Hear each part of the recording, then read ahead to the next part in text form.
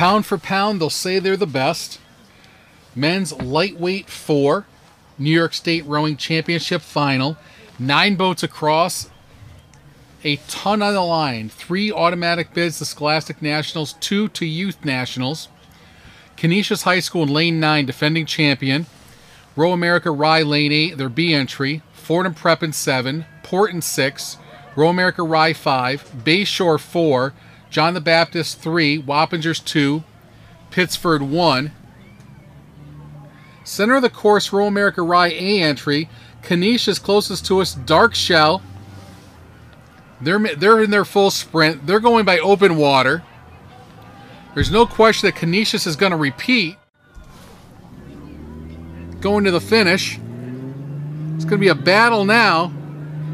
St. John the Baptist, excuse me, Rye's hanging on, 5, 6, and 8. That's called Row America Rye B. Row America Rye, Row America Rye B was 568 from Just McLean. Row America Rye, Port, Row America Rye B. This brings you Bayshore and Pittsford.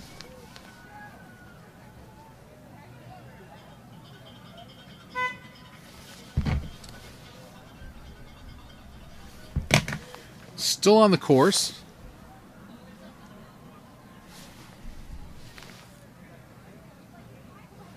will be Wappinger's crew.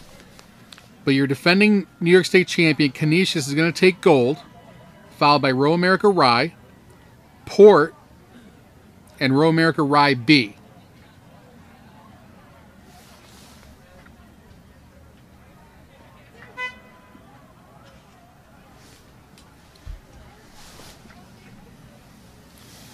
So the referees will follow them through the cool down lane check on the safety of the rowers and see if there's any protest. That race will become official eventually. As St. John the Baptist makes their way down the course.